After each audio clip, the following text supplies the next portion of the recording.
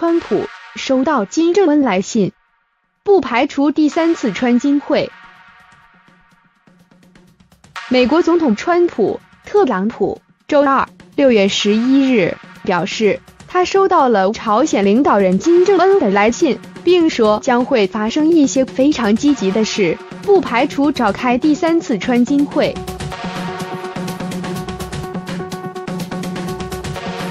周二。川普在白宫回答记者提及有关朝鲜的问题时表示，朝鲜有巨大的潜力，并表示他收到了其领导人金正恩一封美丽、热情洋溢的来信。我们有很好的关系，我认为会发生一些事情。与此同时。我们在朝鲜的人质已被送回来。韩战期间，美军的遗体也送回来了。川普说：“我们的关系非常好。”他金正恩说：“很快就会再次举行会议，川金会。”与此同时，他仍然遵守诺言，这对我来说非常重要。川普强调，今年二月底在越南河内举行的第二次川金会，因为金正恩的承诺无法满足美方的要求，川普总统决定离场，双方没有达成无核化协议。预定月底出访亚洲、前往日本及韩国的川普总统。不排除很快与金正恩第三次会面的可能性。他表示，金正恩到目前为止一直在履行停止试射远程弹道导弹或进行地下核试验的承诺。上个月，在金正恩的监督下，朝鲜进行多个发射器的打击演习。当时，川普表示。尽管他的顾问称朝鲜违反了联合国安理会的决议，但是从他的角度来看，这些发射并没有构成问题。白宫国家安全顾问约翰·博尔顿 （John Bolton） 周二表示，很有可能召开第三次川金会，目前就看朝鲜的态度了。我们已经做好准备了，所以只要他们朝鲜想要，随时可以召开。博尔顿说。博尔顿表示，美国目前仍在继续对朝鲜施加最大压力，因为金正恩似乎仍未放弃追求核武器战略。《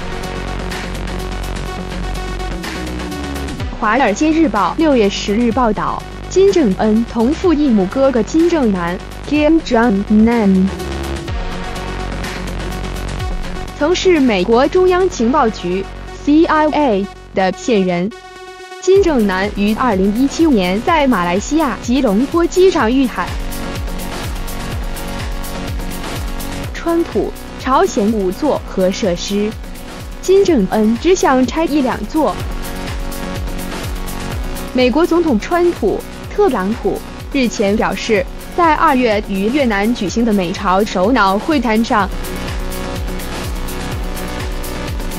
朝鲜领导人金正恩只愿意拆除该国境内五座主要核设施中的一两座，这与美方要求的全部拆除有显著差异。川普在接受福克斯新闻网访问时做了上述表示。他在这段于星期天播出的访谈中也重申无意与伊朗开战，但不允许该政权发展核武。川普在访谈中透露，他在上次的会谈中告诉金正恩说：“你没有准备达成协议，因为金正恩希望拆除一两座核设施，但他有五座。”川普问金正恩说：“其他的设施怎么办？这不太好。”如果我们要达成协议，就让我们达成真正的协议。这是川普首次表明朝鲜核设施的数目，但他并未提及这些核设施的位置等其他细节。韩国中央日报报道说，川普指金正恩愿意拆除的两座核设施，可能包括宁边核设施和丰西里核试验场。朝鲜当局在一年前曾邀请外国媒体。观看他们炸毁丰西里核试验场部分隧道的场景。当被问到川普所言的核设施是指哪里时，韩国青瓦台一名官员在五月二十一日回答说：“我们的政府正在密切监控这个朝鲜议题，但我们不适合证实朝鲜与美国领导人之间的对话。”该官员还说，青瓦台无法证实川普所提到的五座核设施的位置。在朝鲜于五月九日发射两枚短程导弹之后，川普在白宫的一个场合中说：“美国正非常严肃看待这件事。”川普告诉记者们说：“没有人对此感到高兴。”他不认为朝鲜已准备好与美国进行谈判，而在本次访谈中，川普对朝鲜核设施采取了比较软化的语调。他说，朝鲜在过去两年来没有进行过任何核试验，一次也没有。川普不认为朝鲜打破了中止核试验和长城导弹试射的承诺，这被视为美朝之间仍有极优外交手段达成朝鲜无核化目标的空间。朝鲜粮食产量十年来新低，千万人遭受饥荒。联合国发布了一份食品安全状况评估，提及朝鲜目前的粮食短缺问题。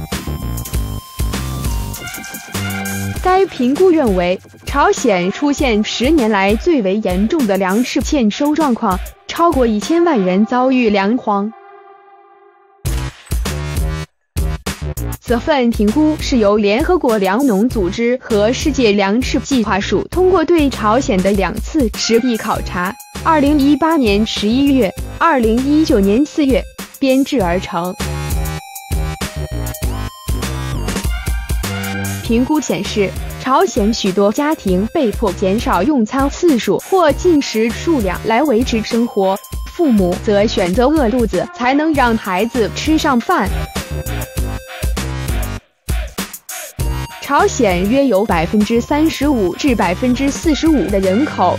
平常的饮食仅是大米、玉米或土豆，搭配腌制泡菜，或是其他一些蔬菜和绿叶菜，蛋白质摄入量极低。二零一八至二零一九年，朝鲜的粮食总产量仅约四百九十万吨，是二零零八至二零零九年以来的最低水平。公共口粮配给量每天仅三百克。与历年同期相比最低，且配给量可能进一步降低。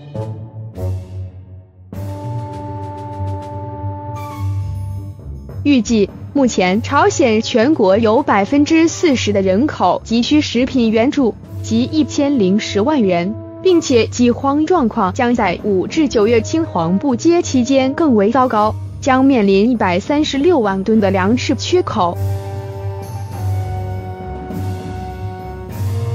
此评估表示，造成粮食短缺的原因是农作物生长季节遭遇干旱、热浪和洪水等自然灾害，同时燃料和电力等资源异常匮乏，导致作物收获后无法及时妥善储存。二零一九年四月份，日本亚洲新闻社 Asia Press 报道表示。导致民众挨饿的原因，除了热浪和干旱外，更为严重的是政府的剥削制度。在朝鲜，每个农业合作社都必须替政府和军方生产粮食，而且有一定的产量目标，剩下的才分给农民。但政府取走的份额通常都很大，农民抱怨政府设定的目标根本不合理。同时，在遭受经济制裁的情况下，朝鲜领导人金正恩为了保留外汇存底，会试图减少粮食进口。如此，朝鲜政府很可能会继续征收超额的粮食，使农民承受沉重的负担。在民众遭遇饥饿的同时，金正恩不惜代价又一次试射导弹。五月四日，朝鲜从江原道元山北侧湖岛半岛一带朝东北方向发射数枚型号不详的短程飞行物，飞行距离约七十至二百公里。